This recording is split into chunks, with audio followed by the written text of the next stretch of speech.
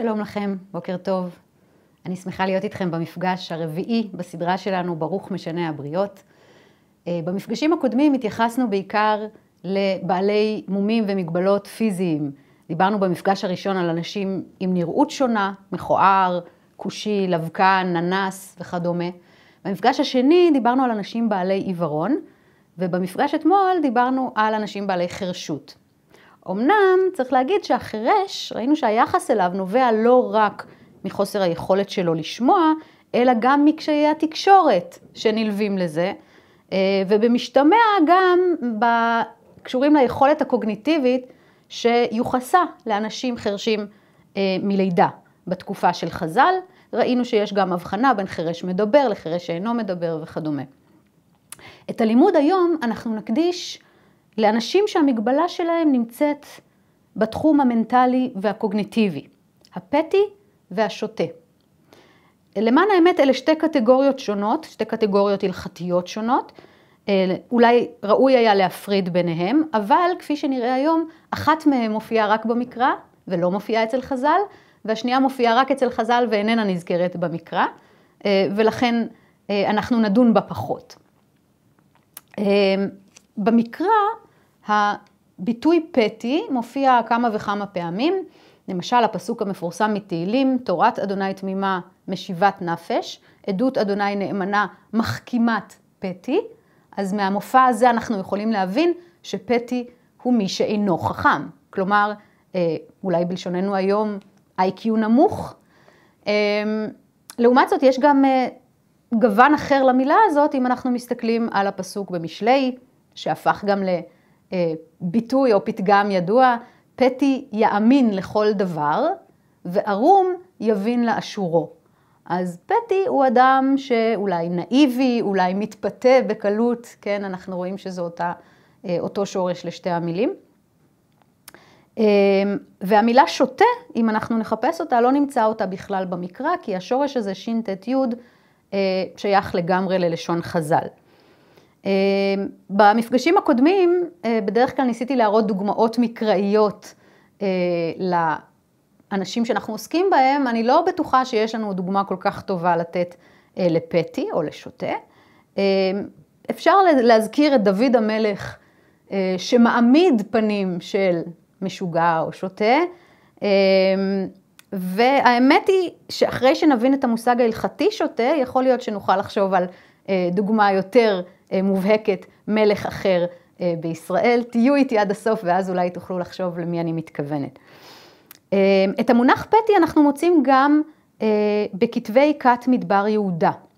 עוד לא עסקנו בסוג הזה של הספרות, מן הסתם כי הסדרה שלנו עוסקת בחז"ל ומה שמכונה ספרות הבית השני, קומראן וכדומה, לא בדיוק נכנס תחת הכותרת הזאת, אבל אני כן רוצה אה, למקד את המבט במקור אחד ספציפי, מתוך מגילת ברית דמשק, אני לא ארחיב, אבל מגילת ברית דמשק היא באמת אחד החיבורים הכיתתיים.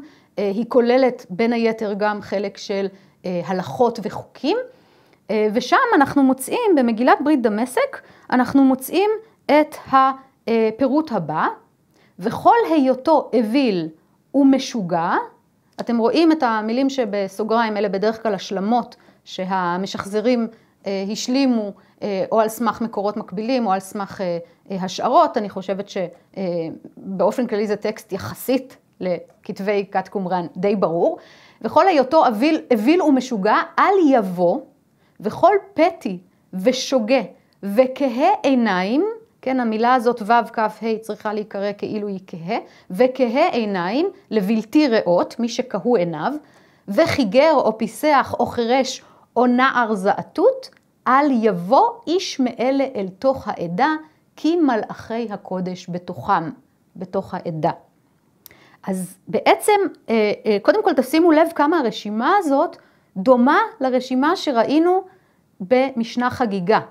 נכון? דיברנו על זה שיש אה, רשימה כזאת ממש בתחילת מסכת חגיגה, הכל חייבים בראייה, חוץ חירש, שוטה וקטן וטומטום ואנדרוגינוס וכולי, אז אתם רואים שיש לנו כאן את החירש בברית דמשק, חיגר או פיסח או חירש, ויש לנו את השוטה, כן, אה, לא כתוב, המילה שוטה לא כתובה, אבל יש לנו פטי, שוגה, אה, משוגע אולי, וחירש, שוטה וקטן, אז יש לנו כאן במקום קטן נער זעתות. אבל המשמעות היא אותה משמעות, הרשימה היא מאוד דומה, וזה כמובן מעלה את השאלה האם המשנה מגיבה לסוג של אה, איסור שהיא הכירה מכתות אחרות, ההשערה הזאת אכן עלתה, אבל צריך להגיד, בקומראן רווחה תפיסה שרואה בבעלי מום אנשים טמאים, שצריך להרחיק אותם מהעדה, מהקודש, מהמקדש אם תרצו, אה, להרחיק אותם ממש, אסור להם להיכנס. זה לא המצב אה, במשנה, זה לא המצב אצל חז"ל. חשוב מאוד לדייק את זה, כי אה, תכף נראה את המקורות, אולי אפשר כבר לראות אותם, המקורות שכבר ראינו בפעם שעברה, כן? לא אמרתי אלא במי שיש בו דעת, כן? שומע אני אפילו חירש, שוטה וקטן במשמע, תלמוד לומר, לא אמרתי אלא במי שיש בו דעת. או חירש, שוטה וקטן, אין מוציאים את הרבים ידי חובתם, כן? זה הכלל, כל שאינו מחויב בדבר אינו מוציא את הרבים ידי חובתם, או במשנה מגילה, זוכרים, הכל כשרים לקרות את המגילה חוץ מחירש, שוטה וקטן. הרשימה הזאת לא אומרת אסור להם להיכנס, הם מטמאים את הקודש, אל יבוא אל העדה. הרשימה הזאת אומרת, הם לא חייבים. כלומר, אנחנו פותרים אותם, אבל אם הם עושים את המצוות האלה, שיהיה להם לבריאות, אותי הם לא יכולים להוציא ידי חובה. זה בעצם מה שאומרת אה, המשנה. אז אה, כשאנחנו עוברים לחז"ל, אנחנו רואים כבר משהו שהוא טיפה שונה. שוב, אם אני מזהה בין המושגים שוטה ופטי, לא בטוח שאני אמורה לעשות את זה, אבל הם בוודאי קרובים. אצל חז"ל אין בכלל הופעה של המושג פטי. הוא לא קיים, אנחנו נראה בהמשך, הוא קיים במקורות אה, מאוחרים יותר לחז"ל. אה, אבל כן מופיע המושג שוטה, שאותו כבר פגשנו ונדבר עליו גם בהקשר הזה של הצירוף חירש, שוטה וקטן. אם אתם זוכרים, אה, אה, הצירוף הזה שיהודה ברנדס מכנה האנשים החשובים, חירש, שוטה ובעל מוגבלות. אה, אז כמו שאמרתי, אין כאן איסור לקיים מצווה, אין כאן איסור לבוא אל הקהל, ולכן אי אפשר להגיד שיש כאן הדרה מהחברה או מהציבור, כמו שבוודאי אפשר להגיד על המקורות מקומראן. עדיין יש לשאול איך נתייחס אל האדם הזה, החשוב, השוטה במקרה שלנו היום, אה, מבחינה דתית, קהילתית, ציבורית. האם למשל לספור אותו למניין? האם הוא כשיר לנישואים? האם יש לשוטה מצבי ביניים, כמו שראינו אצל חירש, שאינו דומה חירש אילם לחירש מדבר? אה, אולי גם אצל שוטה אפשר לראות. בעצם, איך אנחנו בכלל קובעים מיהו שוטה ומהו שוטה? אז יש אצל חז"ל קריטריונים מאוד ספציפיים, אה, והם נמצאים במסכת תרומות. כבר ראינו את המקור הזה אה, בשיעורים הקודמים, חמישה לא יתרומו, ואם תרמו אין תרומתם תרומה, החירש והשוטה והקטן והתורמת שאינו שלו וכולי. אז אמרנו, אלה אנשים שהתרומה שלהם, כלומר חלק מהיבול שהם מפרישים לכהן, איננו נחשב תרומה, לא מתקבל, אה, ושוב אתם רואים את הקשר אל הקודש, דווקא לכהן. אה, אבל בעקבות ההלכה הזאת, התוספתא, שכבר ראינו אותה אתמול, התוספתא ששאלה איזהו חירש, כן, רבן שמעון בן גמליאל אומר, זה לא לפניכם כי זה לפני החלק שמובא כאן, איזהו חירש כל שהיה חירש מתחילתו, אבל וכולי, מיד אחרי השאלה איזהו חירש, התוספתא גם שואלת איזהו שוטה. ומשיבה, היוצא יחידי בלילה, והלן בבית הקברות, והמקרע את כסותו, והמאבד מה שנותנים לו. יש כאן בעצם ניסיון ראשוני להגדיר את הקטגוריה ההלכתית של שוטה, והיא מוגדרת לא באמצעות כללים, חז"ל הרבה פעמים מגדירים לא באמצעות כללים, אלא באמצעות דוגמאות שמהם אנחנו צריכים להפיק, לנסח אה, את הכלל ההלכתי. אבל אם אתם מסתכלים על ההתנהגויות שמתוארות פה, יוצא יחידי בלילה, זה אולי קצת מוזר היום לתאר את זה כהתנהגות של שוטה, אבל תחשבו על תקופת חז"ל שבה אדם לא יוצא לבד בלילה, זאת סכנת נפשות, אז זה אדם שבעצם שם את עצמו, מעמיד את עצמו אה, במצב של סכנה, או הלן בבית הקברות, לישון בבית הקברות זו התנהגות לא נורמטיבית. אה, המקרע את כסותו זה אדם שפוגע בעצמו, ברכושו, מתנהג בצורה אה, אה, שהיא לא נורמלית. אה, אז אתם יכולים לראות מהדברים האלה ששוטה הוא לא בדיוק פטי. הבעיה שלו היא לא בעיית IQ, בעיית מנת משכל או אה, יכולת תבונית, כן? הבעיה שלו היא כנראה בעיה התנהגותית. אה, שוטה הוא מי שפעם היו מכנים משוגע או חולה נפש, היום מכנים מתמודד נפש. אה, כלומר, הבעיה שלו היא לא מוגבלות שכלית, אלא הפרעה התנהגותית. כמובן, האבחנות הפסיכיאטריות של ימינו לא היו מוכרות לחז"ל, לכן כל הקבלה או כל ניסיון להקביל בין המושגים אה, במקורות שאנחנו קוראים לבין ימינו היא מוטלת בספק או בעייתית. אה, אבל תשימו לב באמת לניסיון הזה להגדיר, ומה שחשוב יותר, אני חושבת, הוא ההמשך. פעמים שוטה, פעמים חלום, המילה פה חלום אה, באה משורש להחלים, כן, על משקל שפוי. אז אדם שהוא פעמים שותה אבל פעמים לא, פעמים חלום, זה הכלל. כל זמן ששותה, הרי הוא כשותה לכל דבר, וחלום, הרי הוא כפיקח לכל דבר. כן, אתמול ראינו לגבי החירש, שחירש שיכול לדבר, הרי הוא כפיקח לכל דבר. אז כאן אדם שותה, אבל במצב הנורמלי שלו, במצב שהוא לא מתנהג בשטות, מתייחסים אליו כפיקח לכל דבר. כך אומרת לנו אה, התוספתא. אה, הברייתא הזאת מובאת גם בתלמוד הבבלי, לא במסכת תרומות, כי אין מסכת תרומות בתלמוד הבבלי, זה מסדר זרעים, יש רק תלמוד ירושלמי, אבל היא מובאת במסכת חגיגה. שוב, בעקבות אותה המשנה שכבר הזכרנו פה, חזור והזכר, אה, הכל חייבים בראייה, שהיא בעצם משנה מכוננת, מפני שהיא פורסת לנו את רשימת בעלי המוגבלויות האולטימטיבית אה, של חז"ל. אז הגמרא מביאה אה, בדיון שלה ברייתא דומה מאוד לברייתא שקראנו עכשיו, אה, תשימו לב אבל להבדל. אומרת הגמרא, תנו רבנן, שנו חכמים, זאת פתיחה לברייתא, כלומר מקור תנאי שאיננו מן המשנה, והיא אומרת, איזהו שותה? היוצא יחידי בלילה, והלן בבית הקברות, והמקרע את כסותו. כאן יש רק שלושה ולא ארבעה סימנים אה, לשוטה. בעקבות הרשימה הזאת מובאת מחלוקת של המוראים על שאלה שהיא בעצם שאלה מאוד מתבקשת. האם זו רשימה סגורה? האם חייבים שיהיה את כל הסימנים האלה כדי להגדיר מישהו כשוטה, או שאולי מספיק אחד מהם? אמ, ואומר לנו רב הונא, עד שיהיו כולן בבת אחת. כלומר, שוטה הוא אדם שגם יוצא יחידי בלילה, גם לן בבית הקברות וגם מקרע את כסותו. בעצם הצטברות של התנהגויות לא נורמטיביות. לעומת זאת, רבי יוחנן אמר, אפילו באחת מהם.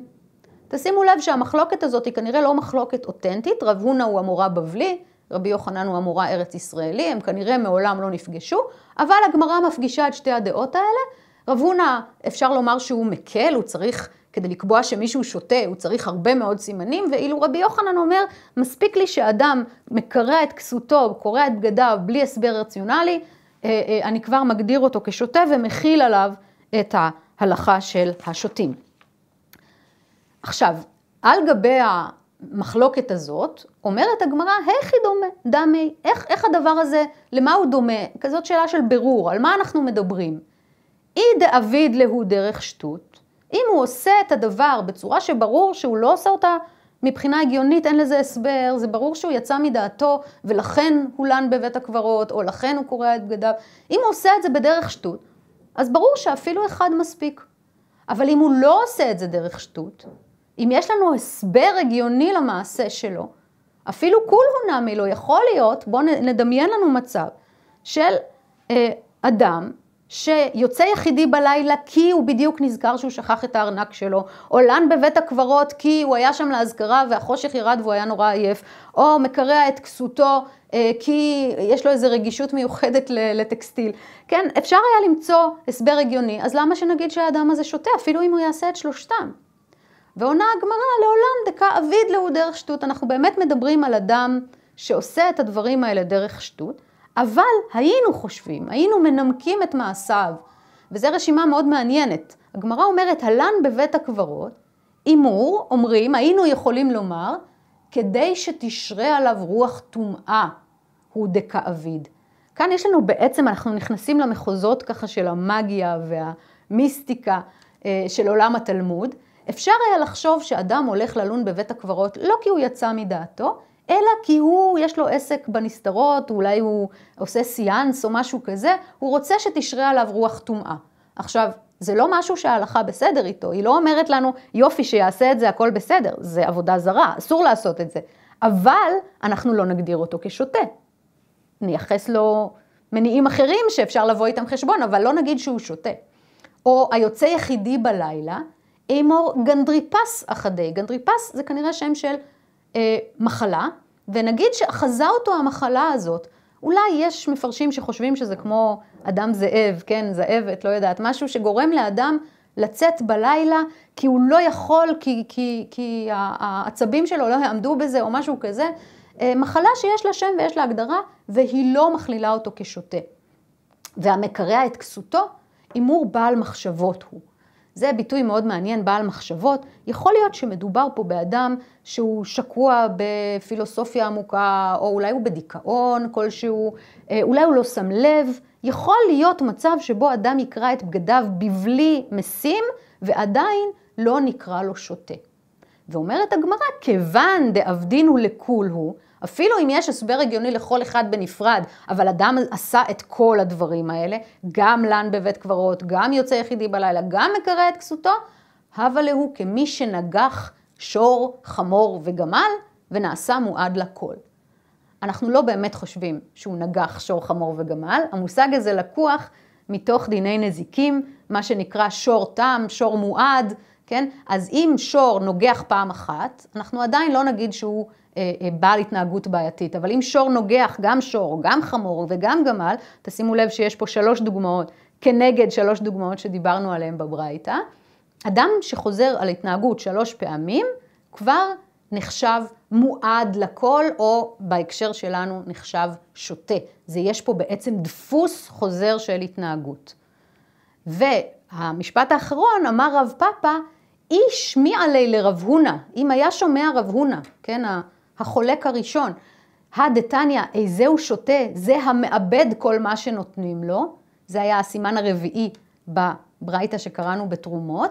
אם הוא היה שומע, אם הוא היה מכיר את הברייתא הזאת בצורתה כפי שקראנו אותה בתוספתא, הווה הדרבי, הוא היה חוזר בו. הוא לא היה אומר שצריך את כולם בבת אחת, כי יש לנו פה בעצם איזה פקטור, איזה קטגוריה שמכריעה את כולם. שוטה הוא אדם שאי אפשר לסמוך עליו, שיחזיק באיזשהו חפץ, שישמור עליו, הוא מאבד כל מה שנותנים לו, אולי קורע כל דבר, פוגע בכל דבר, כן? הוא לא, שוב, הוא לא בעל דעת. עכשיו, הסוגיה הזאת בעצם מצביעה על הקושי באבחון של שוטה. בניגוד לעיוור או חירש, שדי ברור לנו אם הוא כזה או לא כזה. אם הוא לא רואה, הוא עיוור. אם הוא לא שומע, הוא חירש. זה מאוד קל לאבחן. אבל שוטה זה בעצם מצב או מושג יחסי. מה נחשב התנהגות של שוטה? מה נחשבת התנהגות נורמלית? כן? מי קובע איפה עובר הגבול בין התקין לחולני? אה, אני חושבת שיותר מכל שאר הקטגוריות שדיברנו ונדבר עליהן, כאן אנחנו נכנסים לאיזה תחום אפור ומאוד מאוד תלוי תרבות, תלוי חברה, כן, אפשר לחשוב על דוגמאות של התנהגויות בימינו שנחשבות יחסית נורמטיביות, אבל בתקופת חז"ל היו מתקבלות אה, בלי ספק כעדות לשיטיון, לשטות. תחום נוסף שבו השוטה נבדל מהחירש והקטן הוא דיני אה, נזיקין. ראינו את זה קצת אה, כשדיברנו על העסומה, את המשנה לגבי החובל, הפוגע, החובל בחברו חייב עליו משום חמישה דברים, נזק, צער, ריפוי, שבט ובושת. המבייש את הערום, המבייש את הסומה והמבייש את הישן, חייב. אמרנו שגם אם מביישים אדם בלי שהוא מודע לכך, כי הוא ישן או כי הוא לא רואה, עדיין חייבים לפצות אותו על זה. אבל חירש, שוטה וקטן, אומרים עליהם במשנה, פגיעתם רעה. החובל בהם חייב, והם שחבלו באחרים פטורים. פגיעתן רעה, זאת אומרת, זה lose-lose situation. אין דרך לצאת מזה אה, אה, כשידך על העליונה. אם פגע בך שוטה, הוא פטור, הוא לא חייב לפצות אותך, הוא לא בדעתו. אבל אם אתה פגעת בשוטה, אתה כן חייב לפצות את משפחתו, אה, ובכל אופן, אה, אנחנו רואים שיש פה בעצם איזושהי התייחסות אה, לגוף שלו, אבל שימו לב, אם הוא חבל באחרים, הוא פטור. כלומר, אנחנו לא תובעים ממנו, אנחנו לא מצפים ממנו להיות אחראי למעשיו. הגמרא מדייקת עוד יותר לגבי השוטה. רבי מאיר אומר, חירש וקטן יש להם בושת, שוטה אין לו בושת. היא אמרת, אם היית אומר בישלמה, בשלום, כן, מתקבל, מסתדר לנו שזה משום זילותה, כן, כי אה, הוא אדם מזולזל, הוא אדם שאיננו מכובד, אז גם קטן הוא כזה. אלא היא אמרת משום כיסופה, יש פה בעצם הבחנה בין שני מושגים, מה זה בושת? האם זה העניין של זלזול, איך אחרים מתייחסים אליך, או האם זה כיסופה? כיסופה זאת המילה הארמית לבושה, זה רגע שאדם בעצמו מרגיש, כן? אז לקטן יש זילותה, יש לו תחושת הזלזול הזאת, אבל אין לו כיסופה, הוא עצמו לא מתבייש. קטן הרי יכול לעשות מעשים מאוד אה, מביכים ומבזים ובלי להרגיש שהוא מתבייש. אבל, אומרת הגמרא, אלא מאי, אם משום זילותה, אפילו שותה נמי, היינו חושבים שגם שותה, אמרי שותה אין לך בושת גדולה מזו. שוטה הוא בושה למשפחה, הוא בושה לאנשים שמסביבו, אין יותר מביש מלהיות שוטה גם ככה, ולכן אין צורך לפצות אותו כשנגרמת לו בושה. אי אפשר לבייש אותו יותר ממה שהוא גם ככה מבויש מלידה. זאת אמירה מאוד מקוממת, זאת אמירה מאוד בעייתית, אבל כשבאים לפרוט לפרוטות את העניינים ההלכתיים ואת הפיצויים לאדם שנפגע, זה השיקול שהגמרא מפעילה, אם נאהב את זה או אם לא. וגם בעניינים אחרים, למשל כתיבת גט, גם את זה ראינו לגבי חירש, הכל כשרים לכתוב את הגט, אפילו חירש שוטה וקטן וכולי, ואז אומרת לנו המשנה, אה, אני, כן, קיבל הקטן והגדיל, חירש ונתפכח, סומה ונתפתח, שוטה ונשתפע, קודם ראינו שוטה וחלום, עכשיו אנחנו רואים שוטה ושפוי, כלומר נעשה שפוי, נשתפע. אמ, אם הוא מתחילתו היה במצב של שיטיון, אז הוא פסול לקבל את הגט, אבל פיקח ונתחרש וחזר ונתפכח, פתוח ונסתמה וחזר ונתפתח, שפוי ונשתתה וחזר ונשתפע, כשר. זאת אומרת, אדם שהיה שפוי בהתחלה, הפך להיות שוטה, כן, נכנס בו איזה ג'וק אם תרצו, אבל חזר להיות שפוי, הוא אדם כשר לענייני גיטין וגם לעניינים אחרים. זה הכלל, כל שתחילתו וסופו בדעת כשר. אז שוב אנחנו רואים שהמצבים הם לא מצבים תמידיים, הם מצבים שיכולים אה, להשתנות.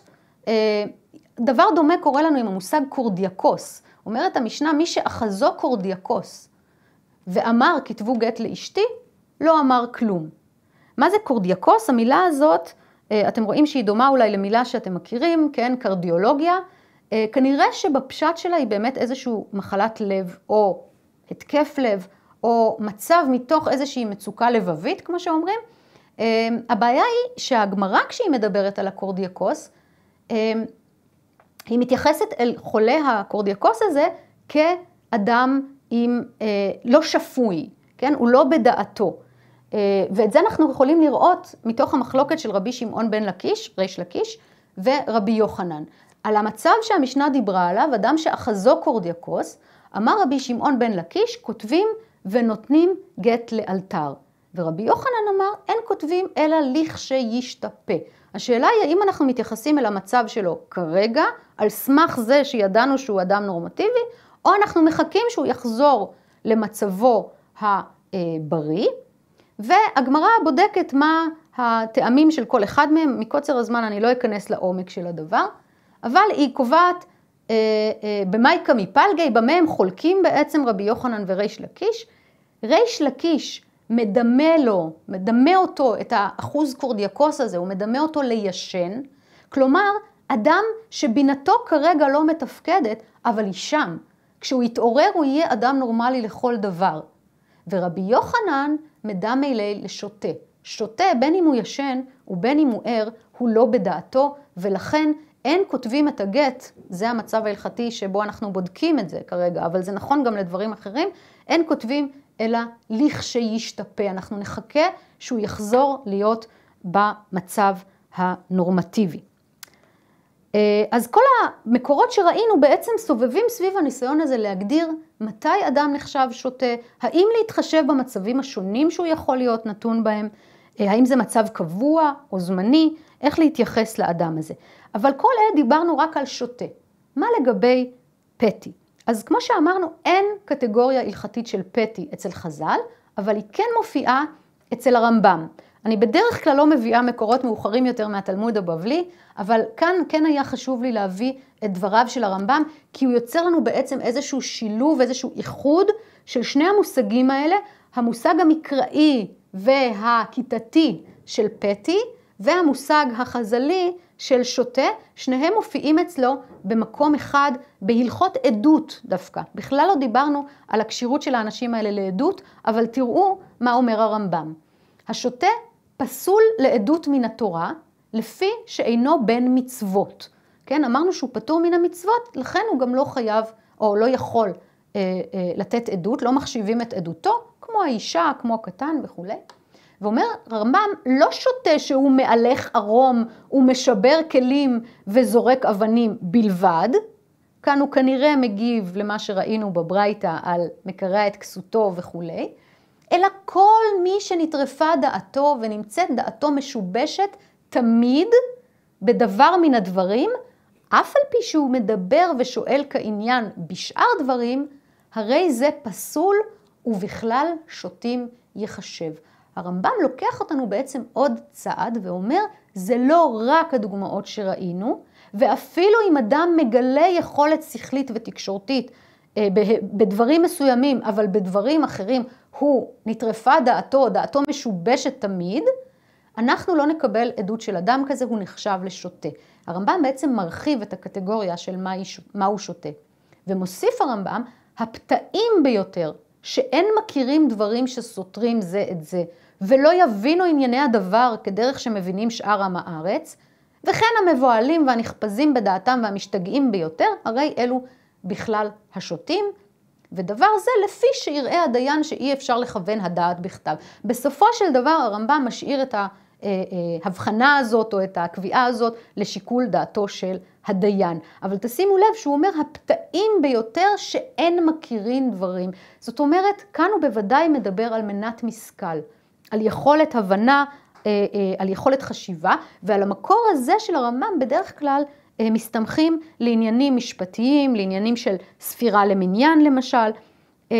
רף התודעה שהוא מדבר עליו כאן לגבי הפתאים, פוסקים בני זמננו מאבחנים אותו כיכולת תבונית של בערך ילד בן 7-8. מי שמתחת לדבר הזה יחשב פטי, אני חושבת שפטי הוא בעצם המקבילה, היום היינו אומרים לפיגור שכלי או פיגור התפתחותי, אה, מוגבלות התפתחותית, כן? אה, אז פטי הוא הכינוי ההלכתי למה שהיום אנחנו קוראים פיגור שכלי או אה, עיכוב התפתחותי מבחינה שכלית, בעל פיגור. כפי שאתם יודעים, אני אוהבת לסיים במקור אגדי. אין לנו דוגמה ל... חכם שהיה שותה, זה כמעט אה, סתירה מיני ובי, אמ, אבל ראינו במפגשים הקודמים אה, שהיחס ההלכתי בדרך כלל מוציא את האדם המוגבל או, או שם אותו בשולי החברה, והסיפורים והמימרות באיזשהו מקום אה, קצת מכניסים אותו או מבטאים את המעלה המיוחדת שלו. ראינו את החירש שידע איפה נמצא העומר, העירו לי בסוף השיעור שעבר שאולי הוא לא באמת היה חירש אלא רק אילם. אה, יכול להיות, אבל ראינו את העיוור שיודע לראות יותר טוב מאחרים מה באמת מתרחש. על שוטים קשה למצוא סיפורים כאלה, ובכל זאת יש לנו מקור אחד שאתם בוודאי מכירים, אם כי באופן חלקי מאוד. הגמרא בתלמוד הבבלי, מסכת אה, בבא בתרא, מביאה את המימרה של רבי יוחנן. מיום שחרב בית המקדש, נתלה נבואה מן הנביאים, וניתנה לשוטים ולתינוקות. הם בדרך כלל זוכרים רק את העניין של השוטים, אבל גם ניתנה לתינוקות. שתי קטגוריות של חסרי דעת. כלומר, הנבואה כבר לא ניתנת לאנשים שמבינים מה הם אומרים, אלא היא ניתנת לאנשים שלא לגמרי בדעתם, שלא מודעים למה הם אומרים, וזאת כביכול נבואה שנזרקת בהם, אה, אה, אולי הם מין כלים כאלה אה, לקבלת הנבואה. ושואלת הגמרא, לשוטים מהי? איזה דוגמה יש לנו לנבואה שניתנה לשוטים? והדוגמה היא כזאת, כי הדמר בר רב אשי, מר בר רב אשי, שם של אחד החכמים, זה לא שם פרטי, זה מר, אדון, כן, שהיה בנו של רב אשי, דהבה קאי בריסטקה דמחוזה, הוא היה אה, נמצא במקום מסוים בבבל שנקרא ריסטקה דמחוזה, והוא שמע את אותו שוטה שאומר, ריש מטיבתא דמליך במטה מחסיה, תביומי חתם. ראש הישיבה שימלוך, כן, למלוך זה הפועל שחז"ל משתמשים בו גם לגבי אה, משרה רבנית. אז ראש הישיבה שהולך למלוך במטה מחסיה, חותם בשם תביומי. תביומי זה בעצם יום טוב. אמ, הוא אומר את זה בלי לדעת על מי הוא מדבר, אבל כאילו נזרקה בו איזה נבואה. שומע את זה מר ברב אשי ואומר, מן חתים תביומי ברבנן, מי חותם, מי משתמש בכינוי הזה יום טוב? אני. אנא, שמע מינה לדידי קיימה לשעתה, מזה הוא מבין שהגיע שעתו למלוך. זאת אומרת, יש פה איזה חלון הזדמנויות, הולכים למנות אותי, או אני יכול להתמנות לראש הישיבה, ואני אספר בקצרה את הסיפור, הוא הולך, אה, בינתיים ממנים אדם אחר, רב אחא, אה, מתמנה להיות ראש הישיבה, אה, אבל כיוון ששמעו שמר בר רב אשי, בכל זאת אדם חשוב, מגיע, שולחים אצלו זוג חכמים להתייעץ, להתייעץ בו, והוא מעכב אותם אצלו, שולחים עוד זוג, שולחים עוד זוג, עד שיש לו עשרה, יש לו מניין, וברגע שיש לו מניין, הוא פותח ודורש, ובעצם ממנה את עצמו באופן אקטיבי לראש הישיבה, והקולגה שלו שאיבד זה עתה את משרתו, קרא על עצמו, קרעי רבחה הנפשי, כל המרעין לו, לא במהרה מטיבים לו, וכל המטיבים לו, לא במהרה מרעים לו. כלומר, מה שיש לנו כאן זאת נבואה של שוטה, שבעזרתה אה, מר בר רב אשי אה, הצליח אה, לפעול באופן אקטיבי ולהתמנות לראש ישיבה. הייתי אומרת שיש פה יותר נבואה שמגשימה את עצמה, כי מי שבעצם פעל להגשמה הוא האדם מושא הנבואה, אבל חשוב לראות שדברי השוטה היו הכוח המניע שלו. זאת אומרת, יש לשוטים איזושהי יכולת לתקשר אלינו אה, אה, נבואות או, או חזיונות או דברים אה, מלמעלה, גם בלי שהם יבינו אה, מה הם עושים. אם כך, גם לשוטה יש איזושהי חוזקה, אה, יש איזשהו יתרון, הוא אולי לא בר דעת, אבל דווקא משום כך אולי הוא זוכה להתגלות ואפילו לנבואה, גם אם הוא עצמו לא מבין אותה, האחרים יכולים לשמוע את הנבואה שלו ולפעול לפיה. עד כאן, אני אשמח אם יש לכם שאלות, תכף אנחנו נראה.